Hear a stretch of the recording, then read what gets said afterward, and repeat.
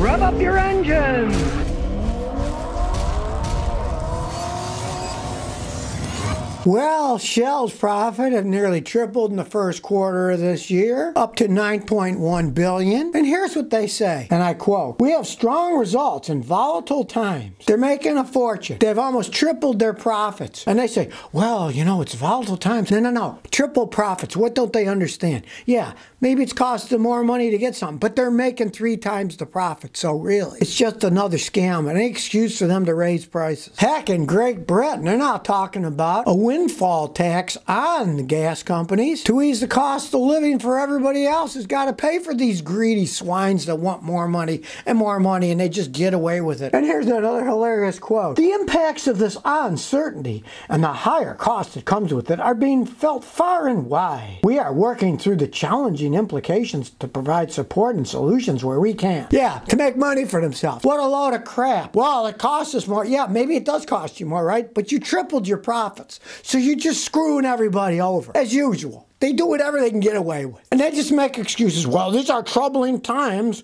and we need to make sure everybody's got their energy so you're warm and you can drive around, and we'll triple our profits, by the way. That's our society today. People talk the talk, but they don't walk the walk. But there it's so obvious. The figures are out there, because even more hilarious, they want the figures to get out there so people invest in the company more. Look, it's a profitable company. Invest in us. We're making a fortune. It's just insanity. It really is insanity. Well, the news is out now. Ford is talking about they're going to get rid of a bunch of the stocks that they have in Rivian, the electric truck company, right? Well, I got to say is we got some stupid people here at Ford. You're in the stock market, right? They originally put a bunch of money into Rivian. Then it went into the IPO, initial public offering of the stock, and the price went real high. Well, what did Ford do? They sat on it. And what's happened?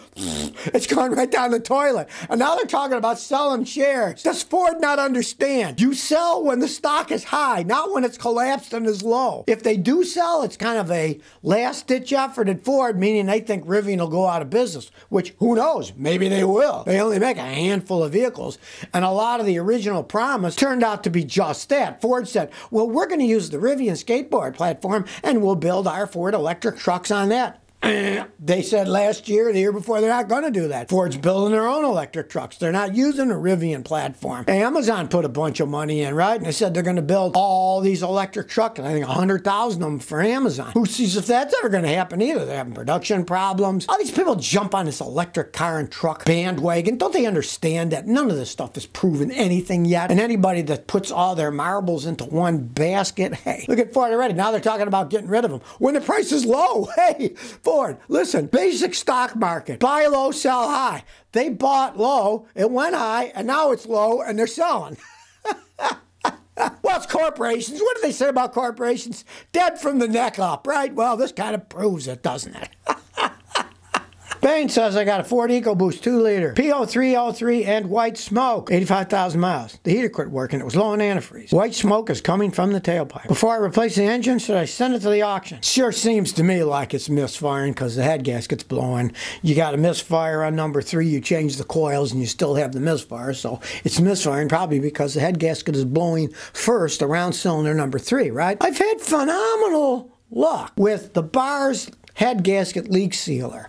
I get it at AutoZone, a lot of stores. O'Reilly sells it. Now I find if you get the bottle that costs like 25 bucks, that's the best one. It mixes with all antifreezes. You put it in, eh, sometimes it'll last for years. You never know. Then you can think you get another engine, or if you're sick of the whole thing and at least it stops smoking and the code goes away and it runs okay, then just sell it to Carvana if they still stay in business before they go bankrupt because they're overpaying for those vehicles anyways. I wouldn't be surprised if they go out of business at some point in time, but still, they're overpaying because they charge too much and they need a lot of cars. They sell hundreds of thousands of cars, so they need to get them and then sell them, get them, sell them. They don't even check them out. A friend of mine sold his to theirs. They just came, they looked around, they even started up, they pulled it on the truck, gave them a check, and away they went. So maybe you can get some decent money for it. And seal it up good enough so you get rid of the stupid thing. Nick says Nissan Sentra, the AC doesn't cool. It lost it gradually. I got a recharge kit, but I can't get it to kick in and cycle. How can I do it? All right, well, it's very simple. The compressor on your car is a magnetic clutch. There's wiring going to it. Check to see which one is the power wire. All you have to do is get a little jumper cable and jump the power wire from the positive terminal of the battery to that cable. Then it will come on. Then you can fill it up with the recharge. You can watch my video how to refill your AC with refrigerant. It's easy to do with one of those cans. You got a little gauge on it. And you'll probably find it'll start working. The problem is when you don't have enough refrigerant in it, it won't turn the compressor on. So you got to override the system to get it going. And once it's going, you take the clip off and it'll work perfectly fine. Since you said you gradually lost cooling, odds are you got a leak because when you get a leak, when it gets really hot, it won't cool as well. Eventually there's enough leaked out that it won't work at all because if the pressure gets below a certain parameter, the switch will not send power to the compressor. So you got to send it power and then you can fill it all up. That's how long they last. I mean, what? It's a nine year old Nissan. They will all leak by then, you can just fill it back up again. Chappie says, Do I need a new adjustable ball joint for an 05 Dodge Magnum? I'm replacing my suspension, my 05 Magnum. Some kits have a non adjustable ball joint and others have an adjustable ball joint. A lot of guys says you really need an adjustable one, but I don't know. If you want to rebuild it better, get an adjustable one. And here's why. If you have an adjustable ball joint, as the things wear on your vehicle, a good front end alignment guy can compensate for that wear by adjusting the ball joint. And that'll change how the wheel sits, right? Back in the day, my grandfather's day, a lot of cars came with them because they made them so you could actually fix them over a long period of time. But today, when they build them, they build them as cheap as they can. So they just put ball joint in, Oh, away they go, and then you can't adjust it. And they kind of like it, so if something gets bent, they don't make it so you can fix them as readily. Back in my grandfather's day, the water pumps even had a grease fitting that you would grease. So the water pump would last forever instead of having one that's sealed, and when it wears out, it breaks, you got to buy a water pump. You're better off with an adjustable one as long as you know a good front end alignment guy, because he's going to have to adjust it. When he aligns the front end, you're going to have to get it aligned anyways when you're done doing all that work. But make sure you get a good guy who knows what he's doing, and he'll adjust it correctly. And then if you hit curves and stuff gets bent over the time, he can make some fine adjustments with the adjustable ball joint that he couldn't do if you got the non-adjustable one. Mercedes-Benz is overpriced says, I have a Subaru, the coolant is leaking when I rev the engine, but not at idle. What could be wrong? I can tell you what's wrong. You need a water pump. That's typical. The water pumps spin to pump the water. Well, when it's just idling, they're going slow, but when you rev it up, they spin real fast. And when the bearings are worn on the water pump, then it wobbles a little and it starts leaking. I see that all the time. Now, go to where the water pump is. All water pumps are made the same. The water pump pumps the water. But then there's a thing called a weep hole on the bottom. It's a tiny little hole. And the reason that hole is there, if the seals start to go, the coolant will drip down out of the weep hole, one, warning you that it's time to change the water pump, and two, instead of, if there was no weep hole and the seals go, it could blow the whole pump front assembly into the radiator, knock a hole in it. So they've had weep holes in water pumps for ages. And you'll probably see you get a flashlight, you'll see it's coming out of the weep hole. It's time for a new water pump, 100,000 miles. Yeah, the water pump's gone. It's not that big of a deal changing them, but you'll see that it's the water pump that's leaking. Givens says, I have a check engine light blinking, my car won't start. I got an Opel. It blinks for a few seconds and shuts down, and the check engine light blinks, and the scan tool says P1502, unknown detective trouble code. I can't delete the code. What could it be? Well, one, don't buy an Opel. Hi, German technology. Of course, it was owned by GM for decades and decades and decades.